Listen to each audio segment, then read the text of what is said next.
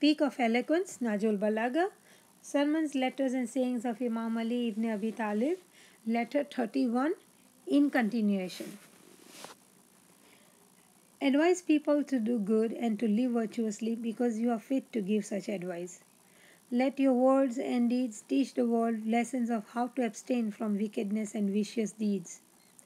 Try your best to keep away from those who indulge in vices and sins. Fight whenever required to defend the cause of Allah. When you think of defending the cause of Allah, do not be afraid that people will laugh at you, censor your actions, or slander you. Fearlessly and boldly help truth and justice. Bear patiently the sufferings and face bravely the obstacles which come in your way when you follow truth and when you try to uphold it. Adhere to the cause of truth and justice whenever you find it. Try to be well versed in Islamic jurisprudence and theology and acquire a thorough knowledge of the canons of this religion.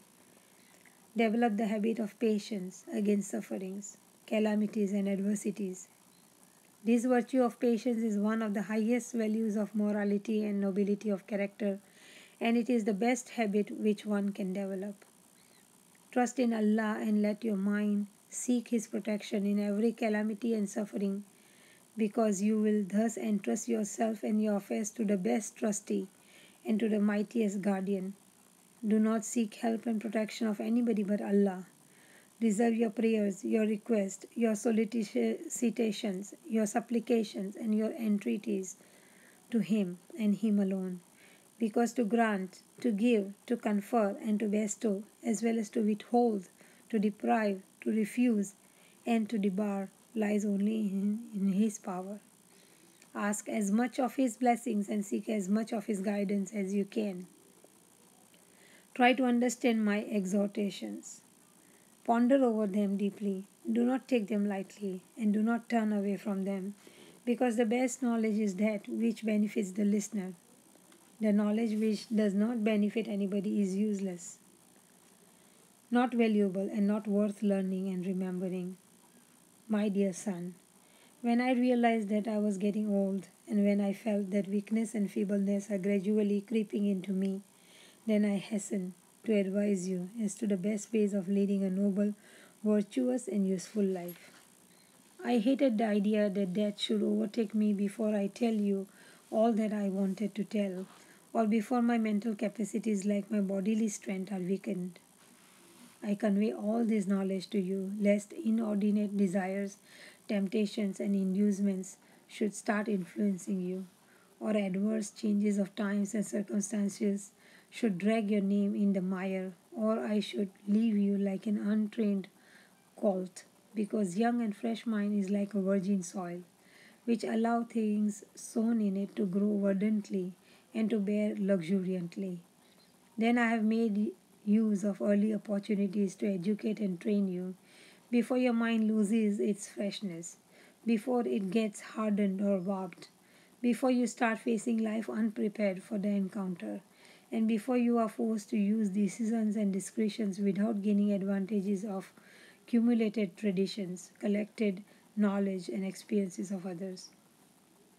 These words of advice and counsels that I give you will save you from the worry of acquiring knowledge, gathering experiences, and soliciting advice from others. Now you can very easily make use of all the knowledge which men have to acquire with great care, trouble, and patience things which were hidden from them and which only experiments, experiences, and sufferings could bring to light are now made easily available to you through his exhortations. My dear son, though the span of my life is not as large as that of some other people who have passed away before me, yet I took great care to study their lives. Assiduously, I went through their activities. I contemplated over their deliberations and deeds. I studied their remains, relics, and ruins. I pondered over their lives so deeply that I felt as if I have lived and worked with them from early ages of history down to over times, and I know what did them good and what brought harm to them. Shifting the good from bad, I am concentrating with these pages and for your good the knowledge that I so gathered. Through these pieces of advice, I have tried to bring home to you the value of honest living and high thinking and the dangers of a vicious and sinful life. I have taken care to cover and guard every aspect of your life as it is the duty of a kind, considerate, and loving Father. From the very beginning, I took care to help you to develop a noble character and to fit you for the life which you will have to lead. To let you grow up to be a young man with a noble character, an open and honest mind, and clear and precise knowledge of things around you. Originally, my desire was only to teach you the Holy Book thoroughly and to make you understand its intricacies, to impart to you the complete knowledge of His commandments and interdictions, and not to leave you at the mercy of the knowledge of other people. But after having succeeded in this task, I felt nervous that I may leave you untrained and uneducated in the subjects which themselves are subject to such confusion and so many contradictions. These are the subjects whose confusions have been made worse confounded by selfish desires, warped minds, wicked ways of life, and sinful modes of thinking. Therefore, I have noted down in these lines the basic principles of nobility, piety, truth, and justice. You may feel them to be overbearing and harsh, but my desire is to equip you with this knowledge instead of leaving you unarmed to face the world where there is every danger of loss and damnation. As you are a noble, virtuous, and pious young man, I am sure you will receive divine guidance and succor. I am sure He will help you to achieve your aim in life.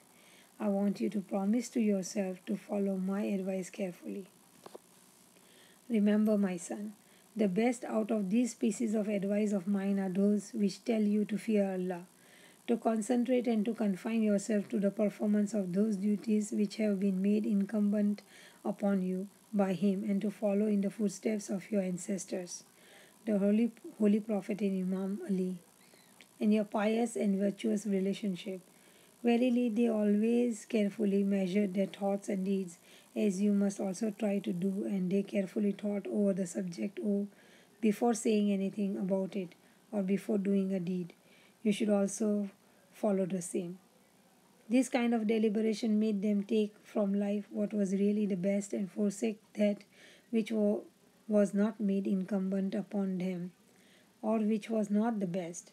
If your mind refuses to accept my advice and you persist to try your own experiments like them, then you are at liberty to arrive at your conclusions but only after thoroughly studying the subject and after acquiring the knowledge necessary for such decisions.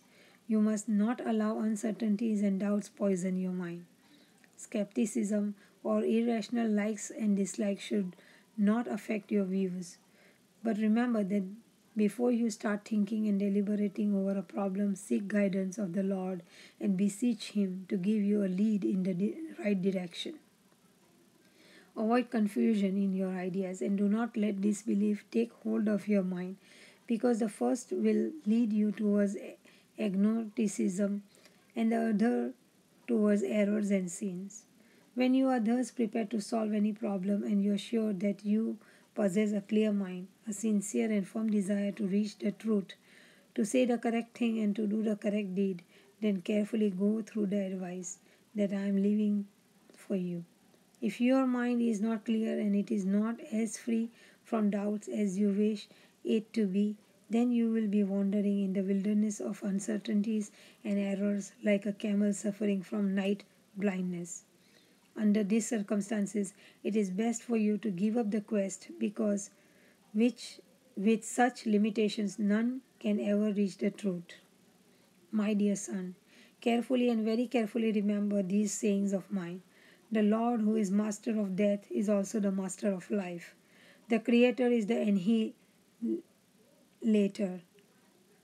And the one who annihilates have the power to bring everything back again to existence. The one who sends calamities has also the power to protect you from them.